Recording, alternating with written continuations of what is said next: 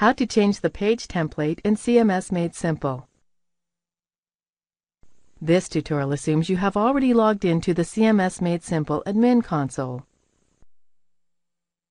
Now let's learn how to change the page template in CMS Made Simple. Mouse over Content. Click Pages. Scroll down.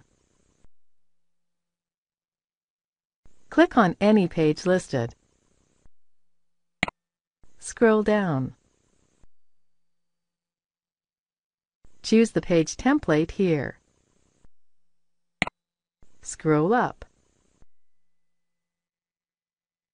After selecting a new template, CMS Made Simple will automatically save the page.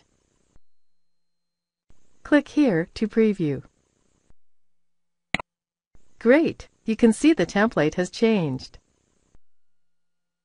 This is the end of the tutorial. You now know how to change a page template within CMS Made Simple. Thank you for watching our tutorial. Be sure to let us know if you have any questions.